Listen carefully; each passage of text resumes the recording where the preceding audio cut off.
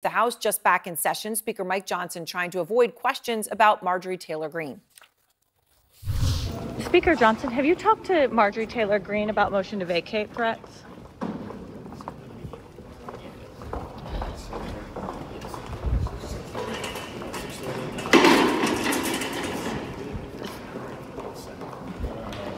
Speaker Johnson, have you spoken to Marjorie Taylor Greene about motions to oust? Took 22 seconds there for him to eventually uh, decide he would answer the question. No. So far, the Republican Congresswoman Marjorie Taylor Greene has not forced a vote, but one of her top aides vows that it is only a matter of time, telling Politico, quote, anyone who is saying she is backing down or high, drunk, or simply out of their mind, is high, drunk, or simply out of their mind. I'm sorry.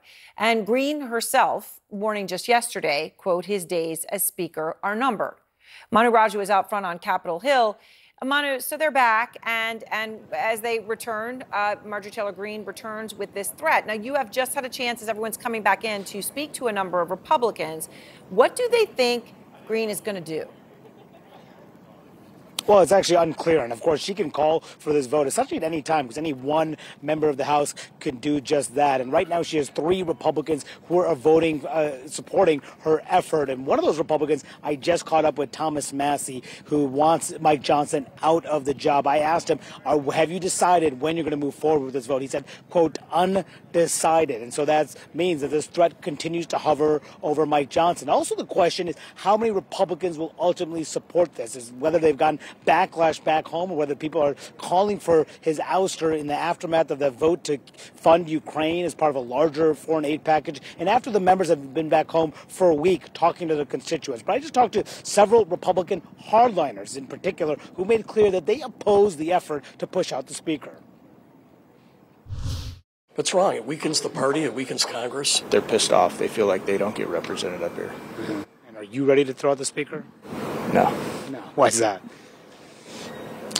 For a bunch of different reasons. Mm-hmm. Yeah.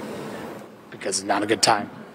Yeah, it, it, the timing. There's obviously frustration with what happened. You oppose the motion to vacate. Hollywood, again, we, we I opposed it with Kevin. I think right now we need to just do our job.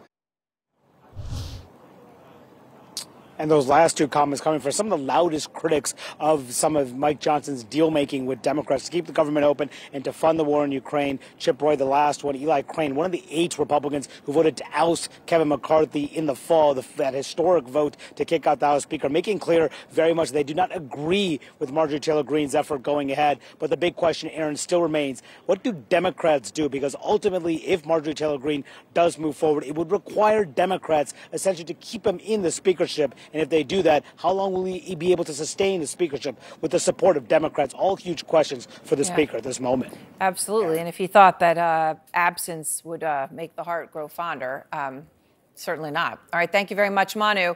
Out front now, former Republican Congressman Ken Buck. I will remind all of you he was one of the eight Republicans who voted to remove then Speaker Kevin McCarthy, but he opposes these efforts to oust Speaker Johnson. So, Congressman, you and I were talking the other day, and at the time you said you were confident that Greene's bid to get rid of Johnson would fail.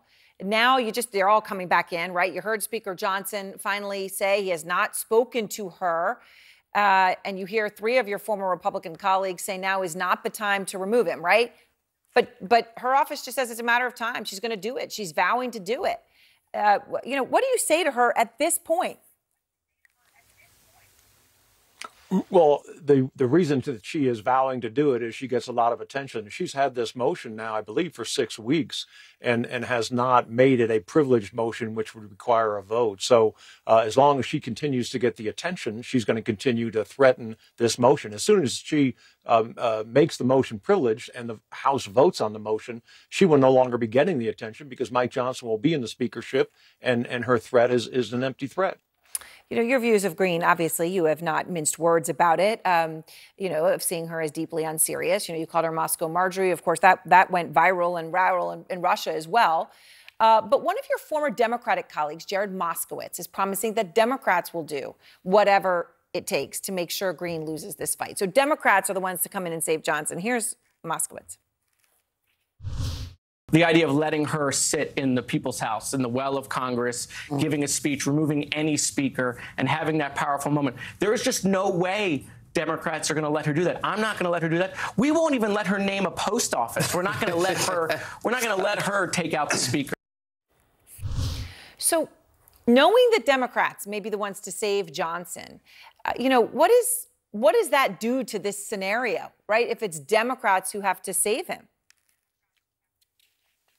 Well, at a time when this country is uh, highly polarized, when when one side is un uh, feels threatened by the other's uh, presidential candidate, um, and and vice versa. When when we are looking at a divided country, Mike Johnson did the right thing. He did the right thing for history. He brought the Ukraine bill to the floor. Overwhelming Democrat support, almost a majority of Republicans uh, supported it.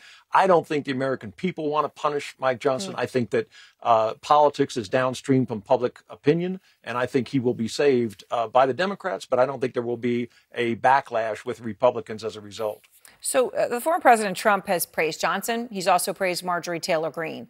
Um, do you think he's enjoying this this fight and this, you know, sort of embarrassment playing out, or do you think he'll eventually be clear on where he stands? I, I, think the president um, doesn't want this to happen, but he doesn't want to be the one to make the call for it not to happen. If he takes Marjorie's side and it fails, he looks bad. If he takes Mike Johnson's side and there's a backlash, he looks bad. Uh, he has a lot of things on his mind right now, and I don't think he's going to focus on this. But any distraction uh, that that happens, if there is a three week effort to uh, name another speaker, uh, it takes away from his message uh, regarding President Biden. So I don't think he wants this to happen. All right. Congressman Buck, thank you very much. I appreciate it.